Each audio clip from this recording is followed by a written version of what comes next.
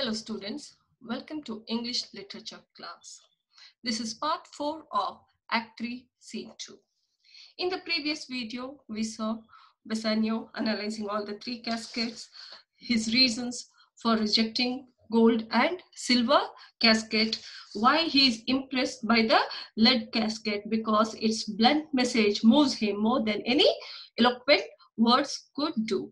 And then he opens the lead casket and we see him describing the uh, what does he find inside the lead casket he finds the portrait of portia.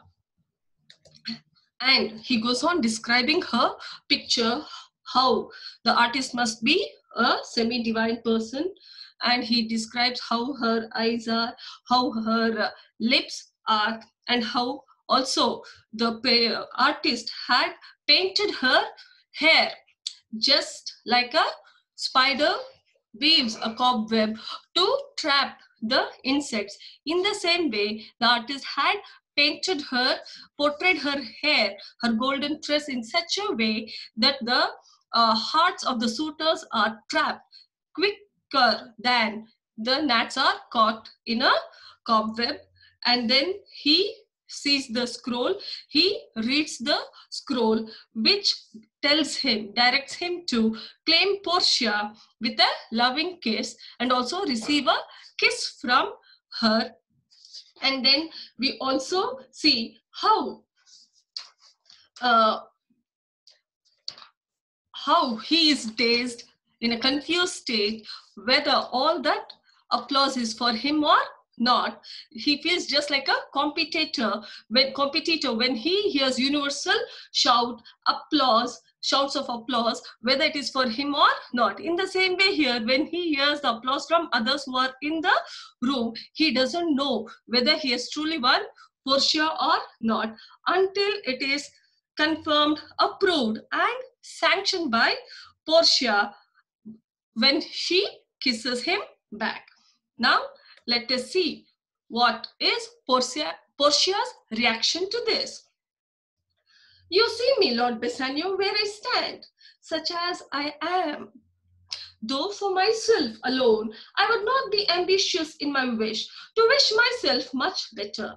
Yet for you, I would be treble twenty times myself, a thousand times more fair, ten thousand times more rich, that only to stand high in your account.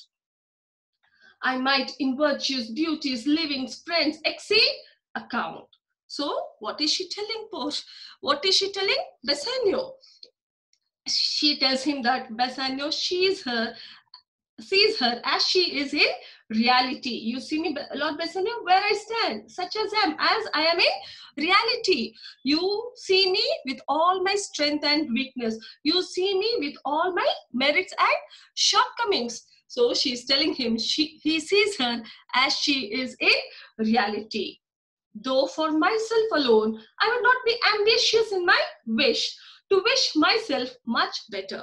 Then she is as then she tells, as far as she is concerned, though for myself alone, I would not be ambitious in my wish. As far as her wishes are concerned, desires are concerned, she is not at all ambitious. She doesn't want anything more. To wish myself much better, she doesn't want to be much better. Yet for you. But, okay, she's telling yes. She'll make an exception. She doesn't have her own desires. She doesn't want to be much better than what she is now. Yet for him, she's making, she's ready to make an exception for him. Yet for you, I would be troubled 20 times myself. Yes, she wishes to be what? I wish to be three times 20 of what I am. She wishes to be thrice 20 times better than what she is. 10,000, uh, a thousand times more fair. Yes, for his sake, she wishes to be a thousand times more beautiful and 10,000 times more rich.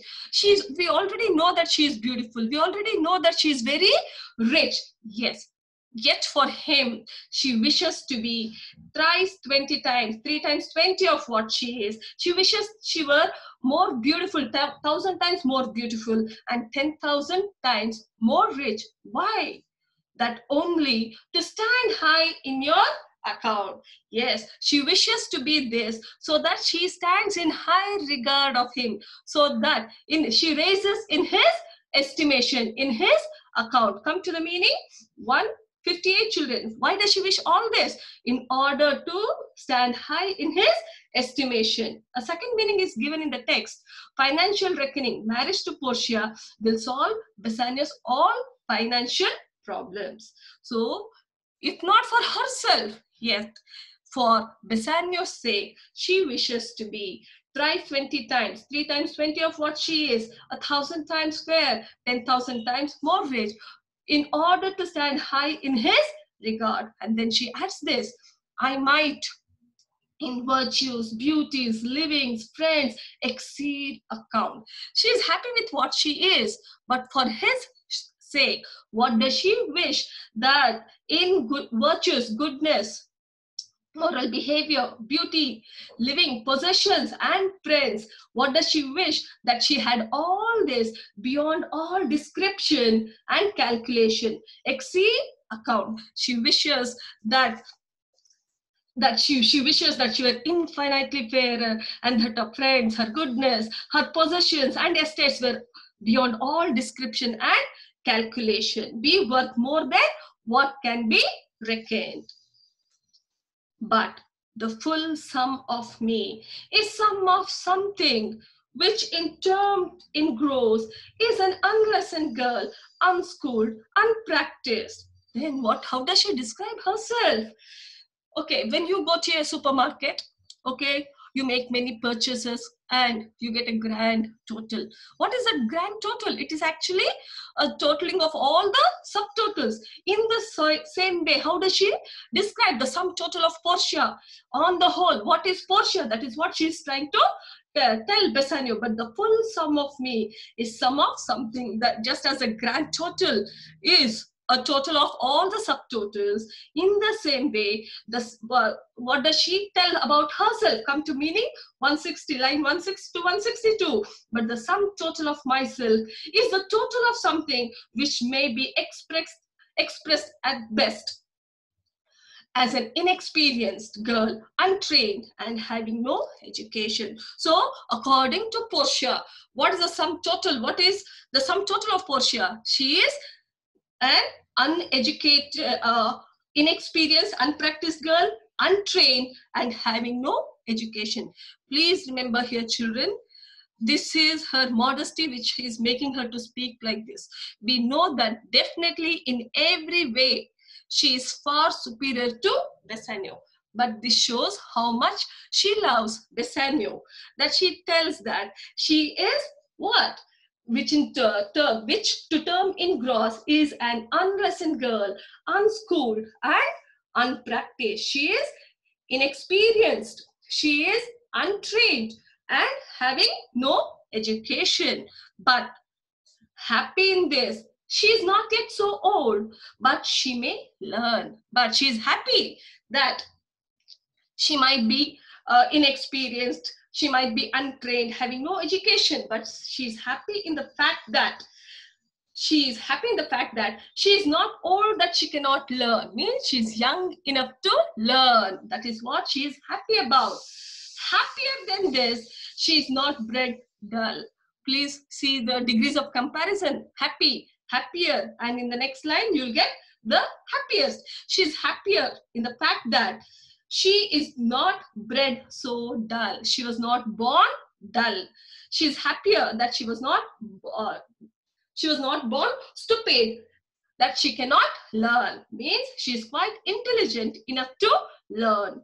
Happiest of all is that her gentle spirit commits itself to yours to be directed as from her Lord, her governor, her king happy we have finished happier is also over but she's happiest of all because she's ready to submit herself surrender herself her heart her mind willingly and happily to the guidance of her Lord, Master, and King Bassanio to be molded by him as, as he likes. See, children, her total self surrender. She is ready to offer herself to him. She calls Bassanio, her lord, her governor, her king, to be molded by him.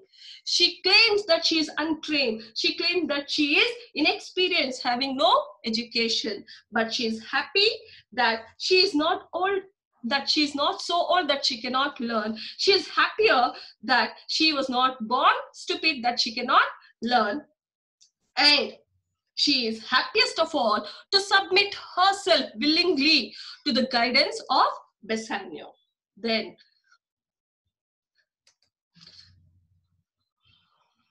myself and what is mine to you and yours is now converted. But now I was the lord of this fair mansion, master of my servants, queen over myself, and even now, but now, this house, these servants, and this myself are yours, my lord. I give them with this ring, which when you part from, lose or give away, let it presage the ruin of your love and my wantage to exclaim on you. Children, I hope you're taking down the notes. The textbook is in front of you.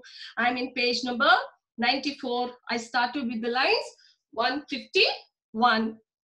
And now I'll continue from line 169. Uh, Myself and what is mine to you. So whatever she has, including herself, whatever is hers. What does she want to do to you and yours is now converted. Whatever she has, whatever is hers, including herself, is now transferred to him.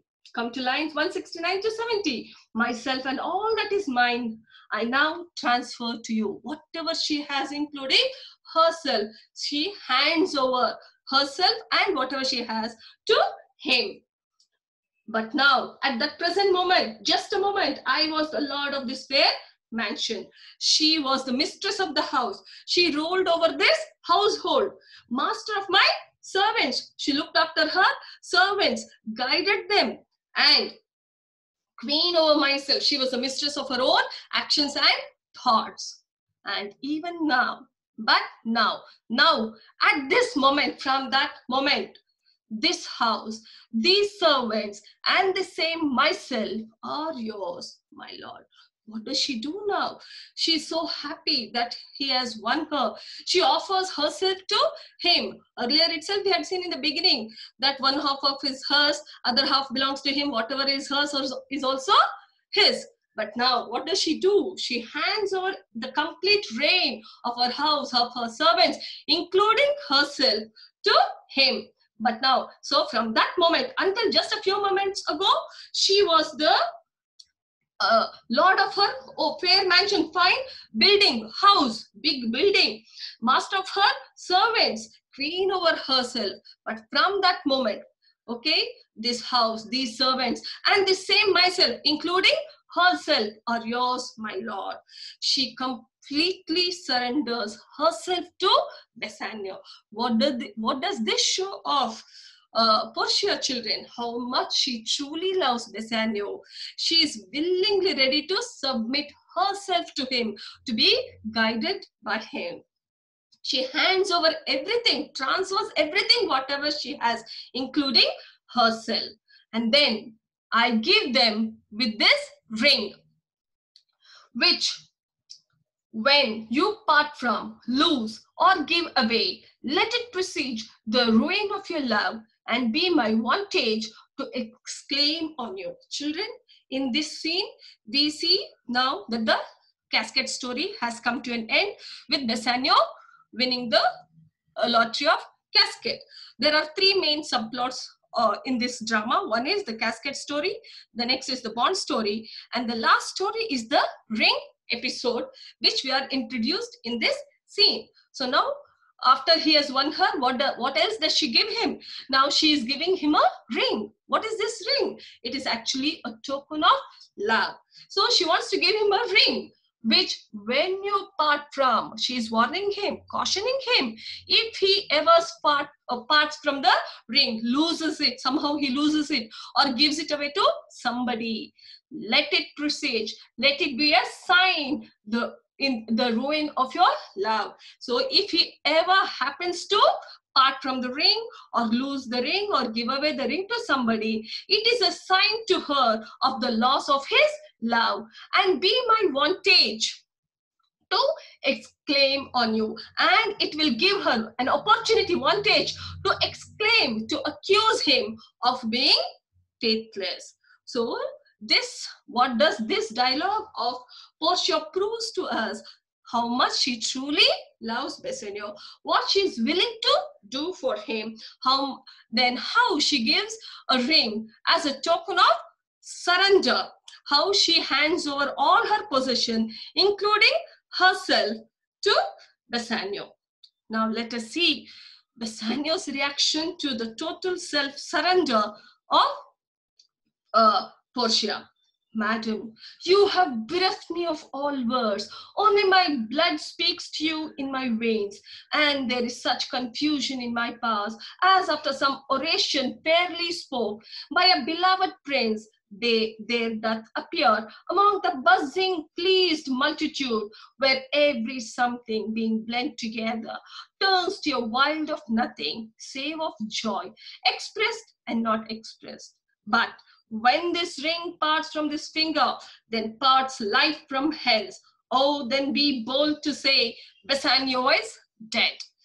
So what is Bassanio claiming here? Madam, you have bereft me of all words. You have taken away my uh, speech, I have become speechless. He's dumbstruck actually. It seems as if her total self surrender has robbed him of his words. He doesn't know how to react to her self surrender. Only my blood speaks to you in my veins. Only the rush of blood in his veins is making him speak. He's speaking involuntarily, just like we blink our eyes involuntarily without our knowledge. In the same way, somehow he is speaking to her because of the uh, because of the rush of blood in his veins. And there is such confusion in my powers as from oration fairly spoke by a beloved prince, there doth appear among the buzzing, pleased multitude. He is so overwhelmed. He is overpowered by her speech. He doesn't know how to react. And he tells that he is so confused in his thinking, just like whom. There is a simile. He compares his confused thoughts to the people after having listened to a wonderful speech delivered by their beloved prince. So, and there is confusion in my powers. There is so much confusion in his thought, confusion in his thoughts. He doesn't know how to express his feelings as like after some oration fairly spoke. Just he is in a confused state, just like the pleasing multitude, just like the uh, just uh, by there doth appear among the buzzing, please, multitude, just as the multitude, common people, after having listened to a speech which is well deli delivered, there is so much confusion in them. They murmur with admiration, buzzing. They do, but they are also in a confused state, uh, confused state. They don't know how to express their feelings to express it. So in the same way, he is also, his, uh, th his thoughts are also in a confused state, just like the people who murmur with admiration after having heard a speech well delivered by their prince, where every something being blent together turns to a wild of nothing, save of joy, expressed and not expressed. Come to line 182, 83, 184 to 86 in your textbook. And there is so much confusion in my thoughts, like the one that follows after a fine, fine speech of a beloved prince among a murmuring, delighted audience. 184 to 86, where every feeling blended together produces a wild confusion expressing nothing but joy, which finds only articulate expression. So what is he trying to tell here? that see his physical senses are so much confused as there is confusion among the murmuring happy crowd after a popular prince has eloquently spoken various feelings are all blended into one and produce a wild outburst of joy which is inexpressible just like the people okay they're filled with joy after listening to that speech but they don't know how to express except show their joy. In the same way he can express show his joy but he cannot articulate express his feelings.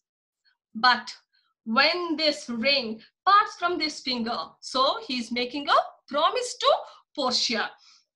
If he ever loses the ring then parts life from hands if he ever so if he doesn't have the ring what does it mean that there is no life left in Bassanio. What does it indicate? Until he lives, lives that his this ring will never part from him. He will never lose it or give it to anybody. If it is not there, it is life that lies life has left from his body. Oh, then be bold to say Bassanio is dead. If it ever happens, then she can boldly claim that Bassanio is dead. Nerissa my lord and lady, it is now our time that has stood by and seen our wishes prosper to cry good joy, good joy, my lord and lady. So please remember who were all the other people present in the scene. We had uh, Portia, Where are they? They are a room in Portia's mansion. And who are the people present who are the present pre present during that time? Uh, Gratiano, Nerissa and other attendants. Now Nerissa wants to congratulate her. Who is Nerissa? Nerissa is the lady in waiting of Portia. So now she addresses them. My lord and lady it is now our time. That has stood by and seen our wishes prosper, to cry, good joy, good joy, my lord and lady. She's telling now, time has come for them who have stood there, supported them, and seen their wishes prosper, fulfilled. Even their wish was that Bassanio should win. So now it is their time who have stood by, supported them, watched them, seen their wishes being fulfilled, to congratulate them, to cry good joy, good joy, my lord and lady.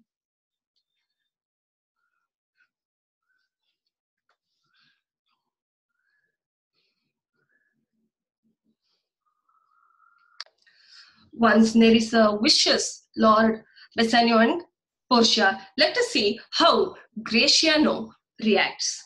My Lord Bassanio and my gentle lady, I wish you all the joy that you can wish for I am sure you can wish none from me. And when your honors mean to solemnize the bargain of your faith, I do beseech you, even at that time, I may be married too. So Gratiano addresses his friend Bassanio as my lord Bassanio and Portia as my gentle lady.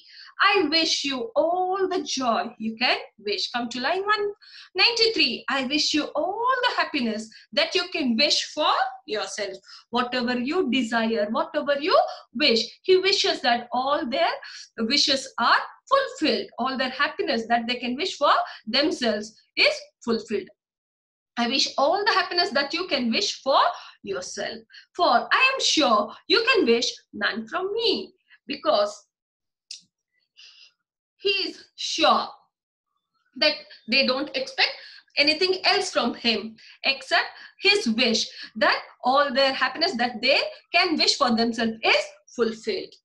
And when your honors mean to solemnize, he's telling them, he addresses them as your honor. Have you seen in court, my lord, my your honor, my lordship, all these things. In the same way, he addresses them as your honor. So when these two people, the Lord and the lady, decide, intend, mean to solemnize, intend to celebrate the bargain of your faith means the contract of their love. So when Bassanio and Portia intend to celebrate the contract of their love, I do beseech you I request you. What is Gratiano telling? I request you. Even at that time, I may be married to. At that very same time, when your honors decide to get married, even I also wish the same. Even I want to get married at the same time. So what is Gratiano actually telling here? That when the Bassanio and Portia intend to celebrate the contract of their love, at that same time, at that moment, even he wishes to be married. Now Bassanio is surprised. Where did uh, uh, Gratiano get a wife for himself? I'm in page number 96 in the textbook, children. With all my heart, so that so thou canst get a wife. Bassanio is always ready to grant whatever is the wish of uh, Gratiano. Earlier, I hope you remember in Act 2, Scene 2, he has a request. The Gratiano comes running to him and he has a request and uh, Bassanio, even without listening to it, he grants his wish. What was the wish of Gratiano? That he wanted to accompany uh, Bassanio to Belmont. In the same way here, Bassanio, yes, is ready to do everything, whatever Gratiano wants. But now the problem is he doesn't know who is the girl. So he tells, yes, he is ready for, for uh, to be married at the same time when Bassanio gets married, provided he gets a wife for himself. So thou canst get a wife so that you can, provided that you can get a wife for yourself. Gratiano, what does Gratiano have to tell you? I thank your lordship. Yes, he thanks Bassanio for agreeing to have his wedding along with Bassanio himself. I thank your lordship. You have got me one. He also thanks Gratiano, uh, Bassanio not only for agreeing that Gratiano can get married at the same time when Bassanio gets married, but also thanks him for having been instrumental in getting a wife for himself. You have got me one. You are the means for me getting a wife. My eyes, my Lord, can look as swift as yours. You saw the mistress, I beheld the beheld the maid. Just as you can look at things very quickly, at beauty, even in the same way. Just as you saw Portia, you saw the mistress, I beheld the maid. Beheld means see, saw, beheld uh, past tense of behold. See, saw. I beheld the maid. Who is the maid here? Nerissa, the lady in waiting. Just as Bassanio saw Portia with her eyes and captured her, uh, and in the same way, he saw Nerissa and he wished to have her as his wife. You love just as Bassanio loved Portia, he also loved Nerissa. For intermission no more pertains to me, my lord, than you. Just as Bassanio is very impatient, he cannot, uh, he does not, he's no more inclined to, inclined to delay things and he doesn't like the period of waiting in the same way. So for intermission, come to the line uh, 202, a period of waiting uh, no more pertains to me, is no more welcome to me. Just as the period of waiting, delay is not welcomed by Bassanio. In the same way, this is also not like it is no more welcome to uh, Gratiano. No more pertains to be my lord than you. Your fortune stood upon the casket here. So Bassanio's fortune, luck depended on what? On the casket. And so did mine too. What is Gratiano claiming? Just as Bassanio's fortune luck depended on the casket, his own luck too depended on the casket as the matter falls. As things turned out, even his fortune luck also depended on the caskets, just like Bassanio. Then he goes on to explain for wooing her here until I sweat again and swearing till my till my very roof was dry with oaths of love at last a promise last. I got a promise for of this fair one here to have her love provided that your fortune achieved her mistress. So what is uh Gratiano telling here? So he had to woo Portia. He had to make so many promises. He had to court her for wooing her until I sweat. Until I sweat again. Sweat again. Come to the meaning here. 206 he wooed her he courted her with all his energy with all his energy and swearing. He had to swear how much he loved her. He had to promise her so many things until the very roof was dry, uh, dry until the roof of his mouth dry. He had to woo Nerissa so strongly and with so much energy that the very roof of his mouth became dry with oaths of love. Why did his mouth become dry? Because he had to claim her with oaths of love. At last, a promise last. Now he is telling he had to declare his love and if her promise still holds good, because earlier what had she told? I he had got a promise from this fair one. Who is the fair one here? Nerissa he got a promise from nerissa to have her love that she is ready to marry him. To bestow her love on Gratiano provided that your fortune who is your fortune here? That is Bassanio achieved her mistress. Yes, so Nerissa had promised Gratiano that she is ready to marry him provided Bassanio achieved her mistress, provided Bassanio won Portia. This is how he had got a promise from Nerissa. He hopes that her promise still holds good. I hope you have understood this dialogue, children. So now, Portia reacts, is this true, Nerissa? She cannot believe it. How could it happen so quickly? So for confirmation, she asks Nerissa whether it is true. Nerissa, madam, it is. So you stand, please, with all. Yes, she, yes, she claim, she tells that it is true. The, okay, and she hopes that uh, Portia agrees with this. So you stand pleased with all. Provided that Portia is pleased with this turn of events. Bassanio, do you, Gratiano, mean good faith? No, Bassanio wants to know whether uh, Gratiano really means it in good faith. Yes, faith, my lord. Bassanio agrees. Yes, he really means it. He really means to marry her in good faith. Bassanio our feast shall be much honored in your marriage. He is very happy for his friend Gratiano. Portia is very happy for Nerissa. And so what does it tell? Line 216. Our marriage feast shall be honored by having your marriage celebrations at the same time. So Bassanio doesn't mind, okay, to celebrate his own wedding with that of Gratiano. And he feels he shall be honored, that their marriage shall be honored by having gracious marriage celebrations at the same time. Let us, uh, I'll stop here children. We'll continue what happens next in the next video. Children, please go through the textbook. I hope uh, you will also, uh, you have also started writing, completing your workbooks for the other lessons and poems that I have already done. If you have any doubts, please jot down somewhere so that when we meet, you can clarify. Let us meet in the next class.